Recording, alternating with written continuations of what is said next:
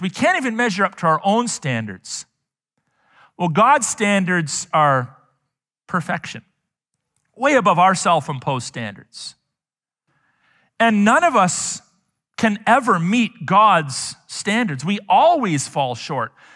We're, we're trying to be gods, we're trying to be lords, we're trying to control our own lives, but the reality is we can't even meet our own standards, much less God's standards.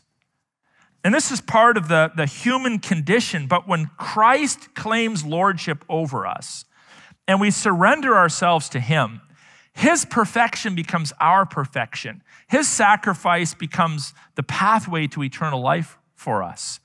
And we are blessed we are blessed. We benefit from surrendering ourselves to the benevolent Christ.